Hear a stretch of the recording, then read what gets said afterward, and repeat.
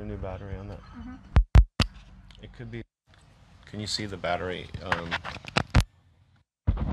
Alright, so it's now it's bouncing. Yeah, It's now it's bouncing. bouncing. Sorry guys, technical difficulties working on the microphone. Hopefully, now that I can see my voice bouncing, that means that it's going. Hi Anna, hi Veronica, hi Carol. Alright, so hopefully that's going. Alright, so in case the sound wasn't going when I was talking before, I'm going to do my 500 elbows and shadow boxing. Um, so you're totally welcome to join in, ask questions, say things, like whatever. It's very informal as I'm doing this.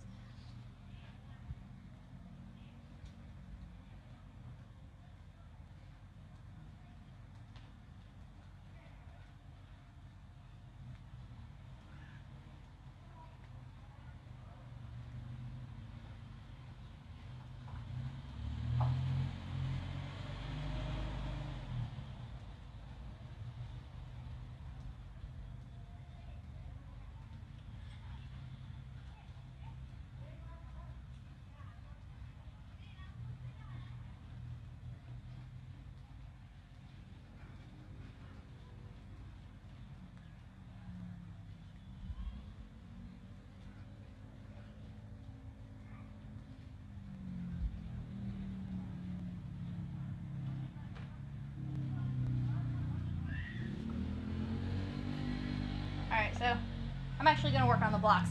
It's my, it's my sudden change. I'm just going to work on relaxed, high blocks.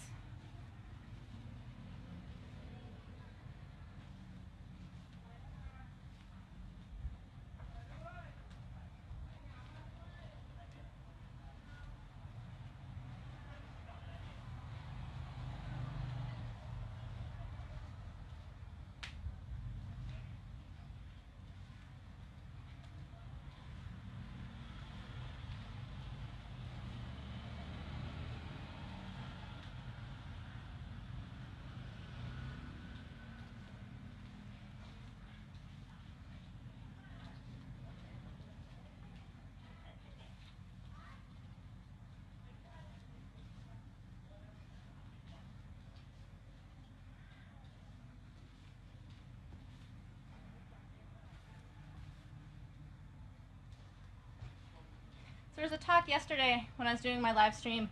Shay asked a question about my block, how mine seems to come straight up, but he's seen my trainers kind of like swings up um, and is a little bit more like open than mine. I was looking at every impressive photo I have of a block. There are a lot of photos of me blocking that I used to get um, embarrassed about because I'm basically just getting kicked in these like magazine photos. And then someone pointed out to me they're giving you their best kick. It's like a poster kick, and you're like, nope, like try again, just like blocking kind of thing. So my excellent blocks in all of my photos tend to be super high, and just kind of I look a little bit more stressed than I'd like to, but that's life. It's just a super like comes up almost into my um, shoulder, which is something that Master K taught me. Uh, was a, a way to warm up was actually just to literally hit your own shoulders like that. So I'm trying to like feel that high block because that's what I'm not thinking about in fights, but I'm effectively blocking people out with.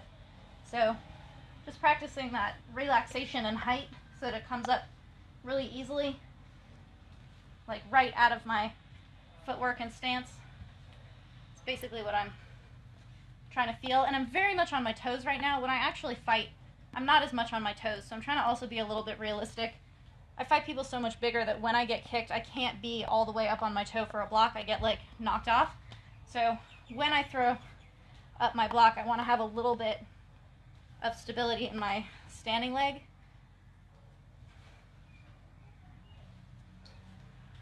And I just want it to come up really naturally and easily.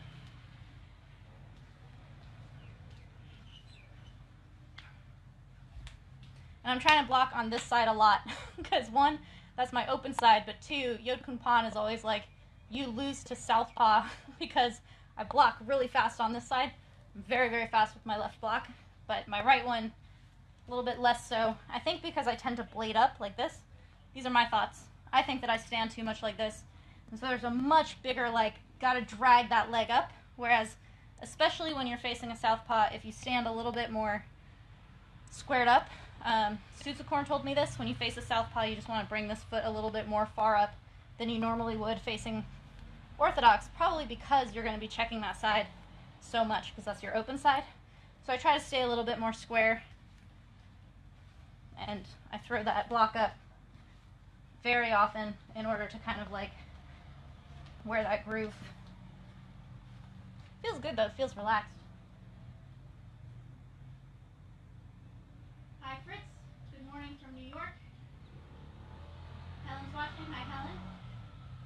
Amayas, hello. Michael Clark, hello. Left our armbar Rhonda, I know you, your name's up all the time. Kristen, hello. Cool. Hi everyone, thanks for joining me. I'm gonna get back into my elbows.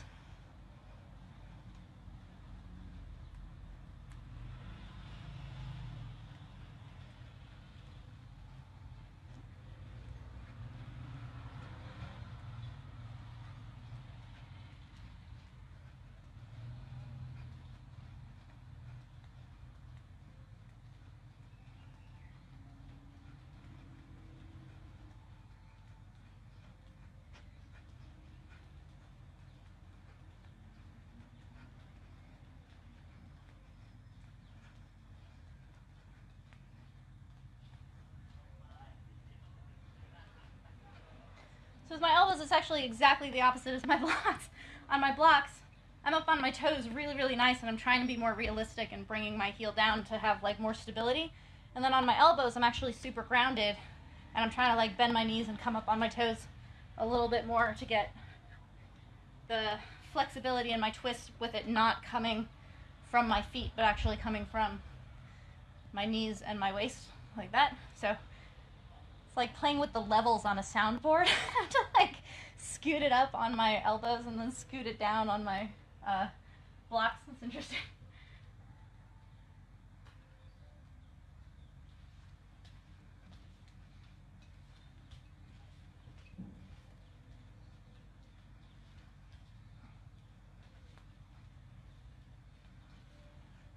I like the idea of doing elbows and blocks. it's like that as a system working together is just I block and I elbow. Like, none of your high scoring, fancy femur kicks are to land. And I'm just to throw a lot of elbows. That'd be a fun fight, actually.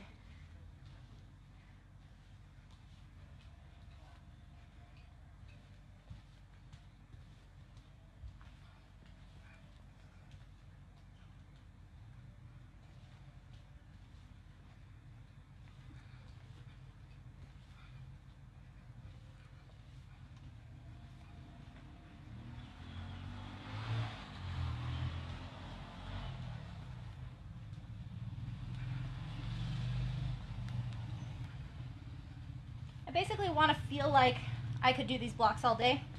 Like, it's the same way that I think it was Ali or Tyson or someone, probably Ali, said that when he's doing sit ups, when they start to hurt, that's when he starts counting. It's basically, I want to be already tired in my hips.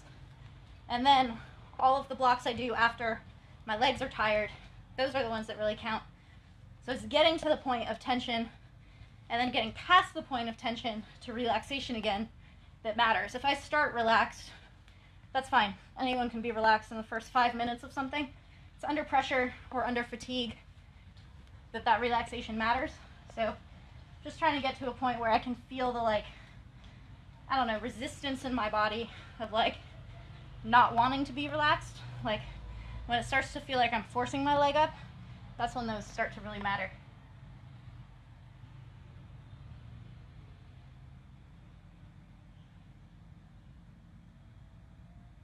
Hey, Michael.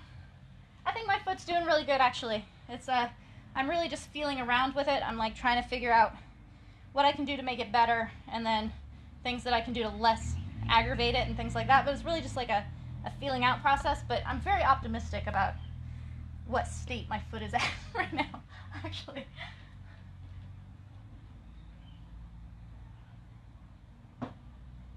I'm practicing pulling back a little bit to avoid having to actually stop. Like when I have to actually stop, then I'm in trouble because then I have to like rest it and stay away from the things that I really want to be doing. So if I just pull back a little bit and like edge on the things that I really want to be doing, then I don't quite don't quite have to put on the brakes.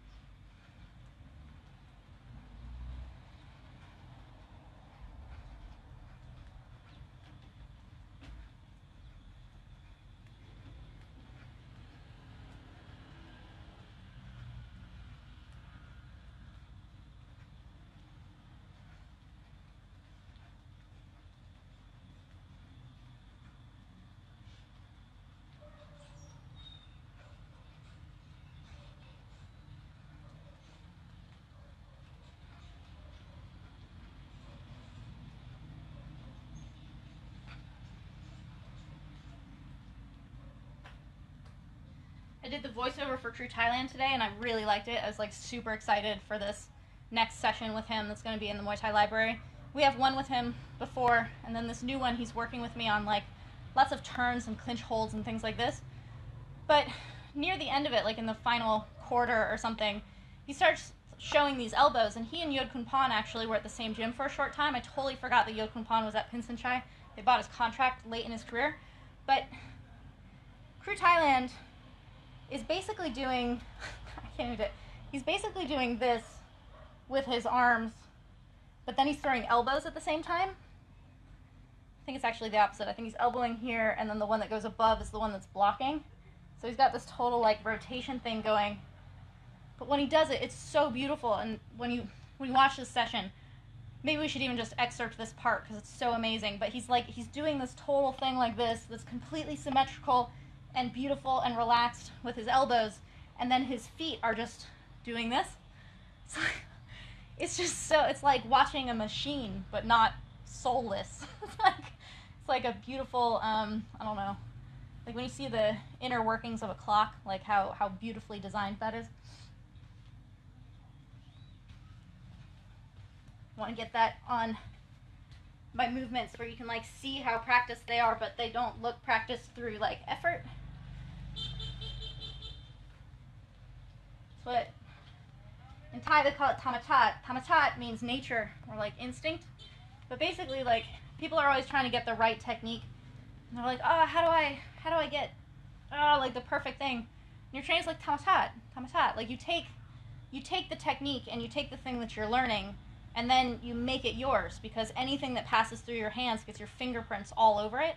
And so they're like, put your fingerprints on it. Like it shouldn't look when you do it, it shouldn't look exactly the same as when your trainer did it. Because you're different people. But people who have done things like a gazillion times, when I say that it looks like a clock or mechanical or something, it's because it's just so like efficient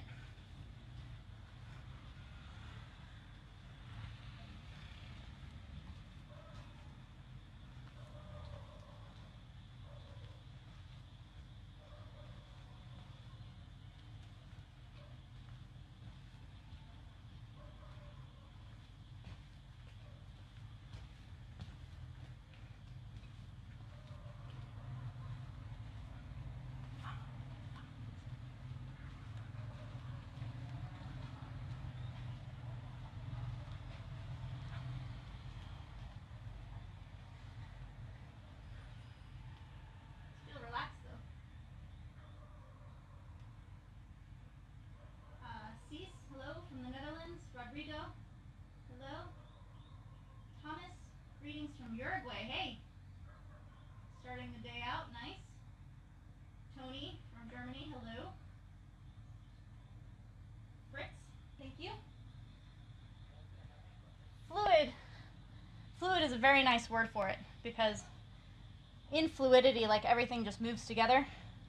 I was talking about my friend Cho a while ago. I think like maybe five or six sessions ago. I was talking about my friend Cho, Cho Shen Schneider. He taught um, popping and locking in our high school, and he was so good, man. Like he had this style that he had probably taken from somewhere else in terms of influence, but he made it so cool. He called it flip book. So it was like kind of it was a little bit more fluid than than just popping would be, but he looked like a flip book. Like he just did these like movements that were completely insane. It looked like you were looking at a flip book or like like um, slow cinema or something. Um, and it's totally this like the articulation of each little beat, but they flowed together really nice. I really like the differences between popping and locking, where you're like hitting something really hard, where you're like, oh yeah, each one of those is just so like articulated and punctuated. And then you've got the liquid, where you've got like people who are just moving and it's just like so fluid, and you're like, how are they so Gumby like? But I love that those two contrast with each other, but are kind of in the same set of style, like they're styles within a greater style. And I think you see that with a lot of fighters, like um, Thailand, Kru Thailand, who I was voicing today he calls himself Muay Book. People are becoming more familiar with like Muay Khao, Muay Femur, uh, Muay Thai is kind of a thing, and then like Muay Mat is a puncher. Something that people are less familiar with is Muay Book. Muay Book means that you're always pressing forward and you're just like you are the first to be firing your weapons. It's very intense, but it's not like it's not brawly and it's not rushing forward. It's cool that he identifies himself as Book because what weapons he's actually using when he's throwing all of those things and like coming forward is um, you can pick him out and you can like put him in that classification because he likes to throw a lot of hands or something like that. But it's the same thing of like if you're looking at people who are doing um, you know hip hop dancing or something and they have like this particular the way they punctuate something or the way that they don't punctuate something like defines their style. That's what I like so much about these fighters is that there are some fighters who are like super punctuated in everything they're doing, and then there's some that just like melt. Like Karuhat just melts away from everything, but it all like flows and oozes together. And then you have someone like um I don't know, maybe Krupat. Krupat is just like every single thing that he throws is like bong bong bong. Like you see, like with distinction each thing that he's throwing. The thing that uh, Kru Thailand was saying about Yod Kun Pan when he was talking about how they're gym mates he imitated him for a second. I love when fighters imitate other fighters. He was showing like all these elbows, just like endless elbows, and then bong, like the last one that comes on top. It was so Yod Kun Pan. This like you have this barrage of elbows that you're just overwhelmed by, and then it's that last one that's just like, and that's the one I've actually been setting up for this entire time.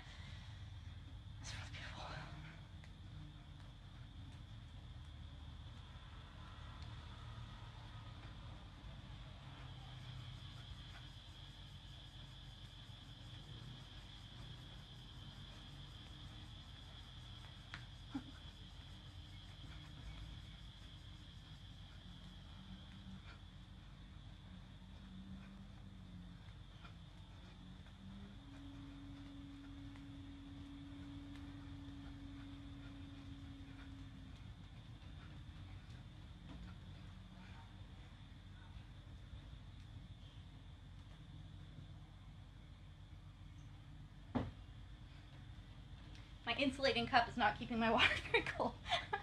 Disappointed.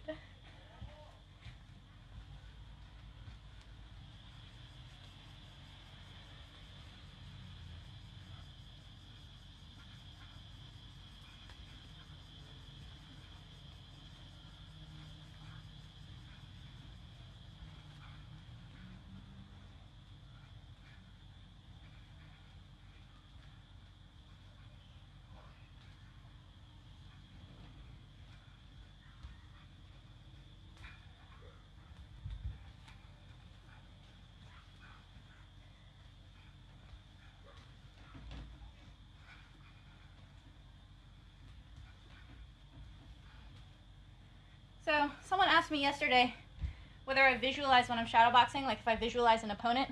Yes. When you're blocking, all I'm doing is blocking.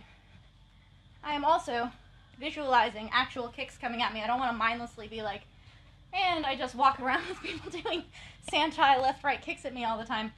I actually want to try to feel the um in my head like the relationship between when I see the weight change on someone's kick, like maybe they're gonna if they fake, do I not want to bring my leg all the way up? Like, I don't want to be caught like this because that's Karuhat's whole game, is he gets you on one leg and then you're screwed. So he wants you to believe that he's kicking you, but really he's just bringing his weight forward. So I want to picture, as I'm practicing my blocks, me being sure that I actually need that block, right? So if someone's going to fake me, I can actually fake the block too.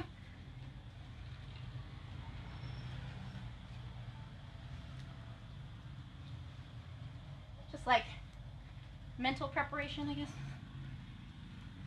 And occasionally, occasionally people are going to throw two on one side.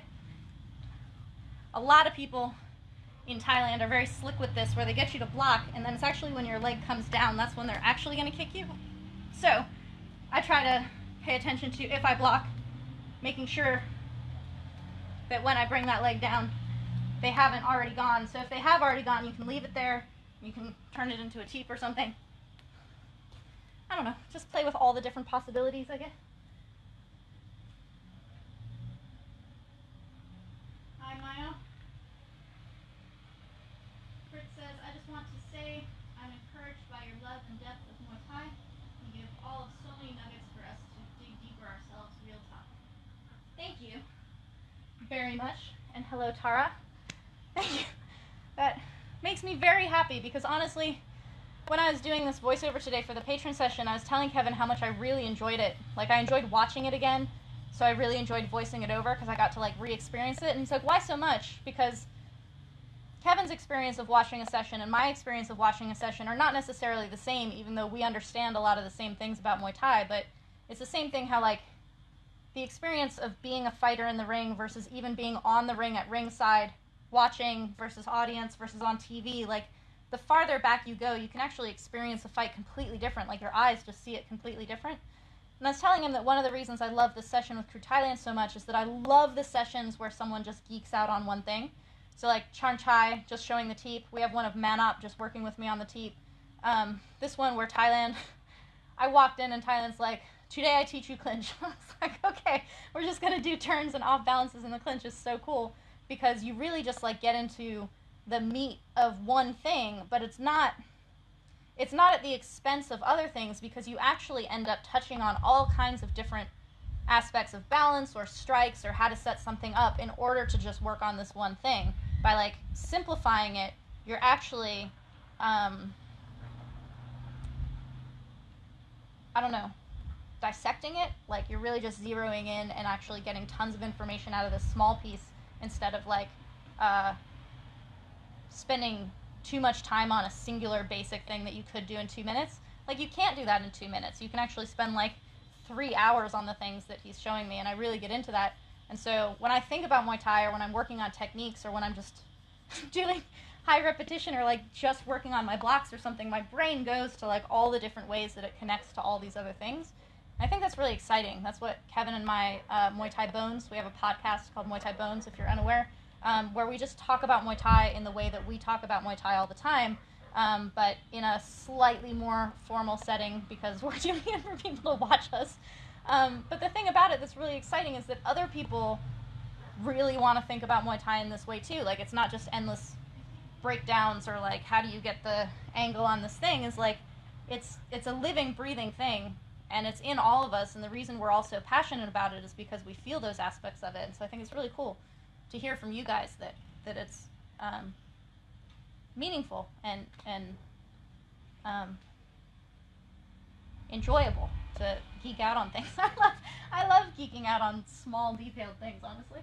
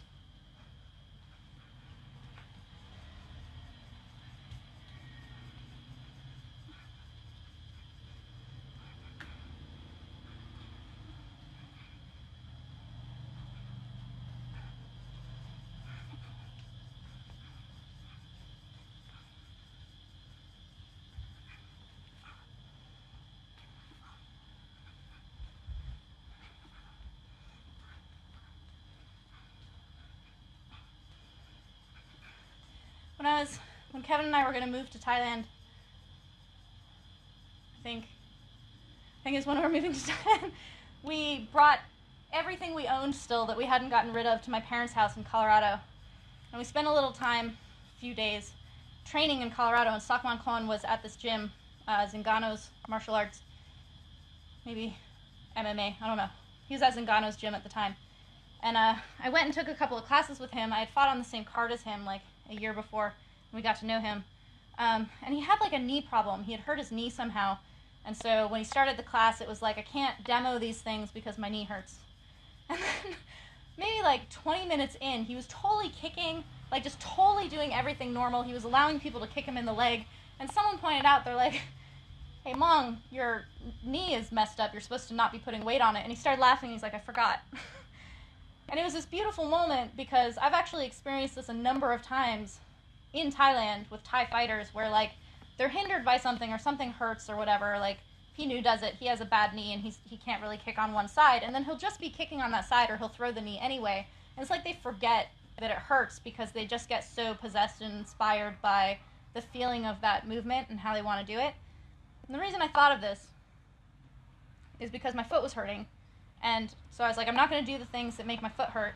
But here I am doing all kinds of things that my foot is hurting a little bit, but I don't care. Like, I really don't care that it hurts because it feels so good to be doing the other things that I'm doing. And I think it's an important point for me because there are a lot of people who, for very, very good reasons, are like, listen to your body. Um, don't injure yourself. Don't push yourself. If something's hurting, back off of it. I'm not going to argue with these people. I'm just going to argue that those people are telling you what to do. so if someone says, I know my body, I'm listening to my body, I'm going to rest, great.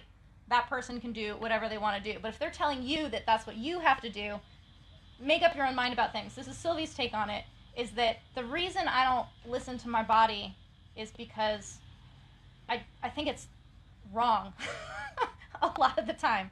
So I think about people who are like climbing Everest and when you're climbing Everest, you start losing your mind and your body starts breaking down, and you just get into this state where you're like, I'm just gonna take a nap. Like, I'm just gonna lay down for a minute and take a nap. And to me, that's the like, listen to your body. If you need to rest, just go and rest. But your nap becomes a forever nap, and you just die on Everest because your body and your mind are like not taking priority kind of thing. So, yes, I don't mean to take a super extreme example where like you're gonna lay down and die to be like, you need to rest your ankle because you sprained it kind of thing. Like, yeah, back off of it. But the thing about it is people will, like, I'm sore, so I need to rest today. Honestly, if you just start moving around, the soreness goes away. Like, it's, it's actually the laying around is going to make you feel worse than the getting up and moving thing. So, right now, what I'm stoked about is that I was talking about how I'm waiting for my body to kind of start getting tired because once I'm fatigued or once the tightness in my hips is real, and I'm able to make it like loose in spite of that. That's what I was focusing on. That's what I was like waiting for is like when the pull ups start to hurt, then you start counting kind of thing. What I didn't anticipate was that I was just gonna like start really liking the feeling of like messing around, just doing like footwork, just bringing those blocks up. Because I started like visualizing someone trying to mess with me, Pinu can get his kick on me anytime he wants. He's so good at waiting for the leg to come down and then nailing me. Karuhat is really good at doing the like fake of his weight, which is really good for me because even though I get tagged with it every single time, every time he does it, I get a little bit more information of having seen it so that I can pay attention to someone else's weight who's maybe not as Karuhat as Karuhat is, and someone trying to like fake their weight that way. I know how to deal with that. Like I've got I've got that teep handy. Something that Karuhat said was that he would work on fakes with people that he was in the gym with every day. And he's like, if I could fake out someone who sees me every single day, I knew I could fake out an opponent who doesn't spend that much time in the ring with me. And I think it's that kind of thing of exposure, of like, if I know that I can completely forget that my foot hurts just because I like blocking, then I find that way more valuable to me than um, listening to my body when my body is telling me to be a jackass. it's telling me to like lay down. Sometimes you have to lay down, but most of the time you don't.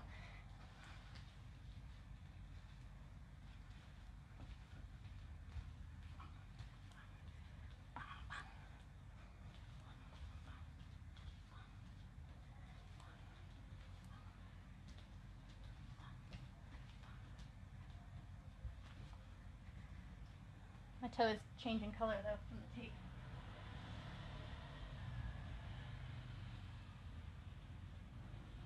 Michelle, my favorite is the Buddhism references. You must be talking about Muay Thai bones. Nippon says thank you. Oh, Tony made the first comment. Muay Thai Bones podcast, deep and exciting. We learned from it not only about Muay Thai but Buddhism, etc. Awesome. Long form sessions for patrons, absolutely. Uh, the video often midstream and just does not continue. Every other shorter content is working fine though. Might be due to the bandwidth. Oh. Yeah, I don't understand technical problems. Sorry. I don't know what to do about that. Alright. Happily, other people like the geek out as well. That's very good because I cannot help myself. Um, there's a there's a fight. God, I can't actually now remember who it's with. Unfortunately, I'll find it. It's Nam Kabun, and he and his opponent both go out of the ring.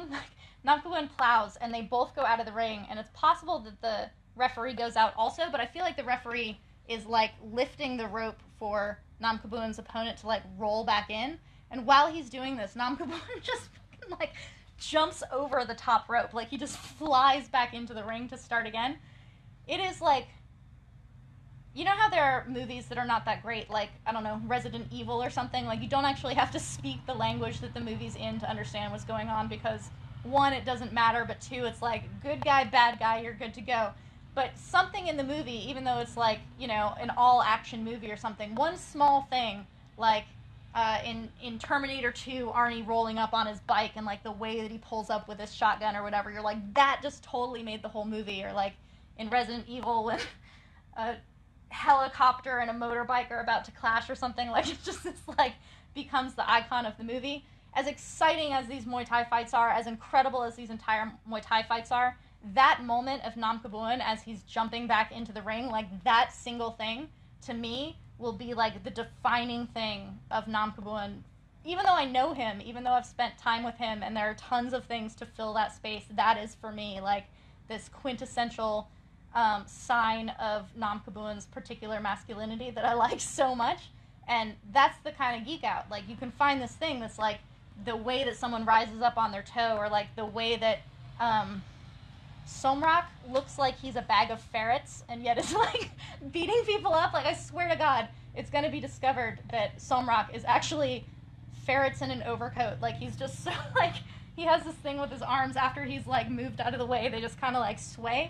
It's like it's got nothing to do with his strikes. It's not like, oh my god, did you see that right cross? It's actually the stuff between. Like it's this weird like gumpiness that he has that uh that is so beautiful. So that's again, that's why geek outs are just the best. Is that it's like this tiny tiny thing that like encapsulates everything. It's very very cool. Um, okay, so that's that's me done for today. Thank you guys for letting me babble and get super into my blocks and elbows. Um, I talked to Yodkun Pan today. He's doing well. He says thank you so much to people who have been sending support to him. Uh, Karuhat says thank you. We were able to send some money to Kru Thailand, um, and we. Um, I was contacted by Boon Lai. Boon Lai was really hard to find for the Muay Thai library in the first place. It turns out he was working, teaching Muay Thai at a military camp uh, near where he was born, Chachoengsao.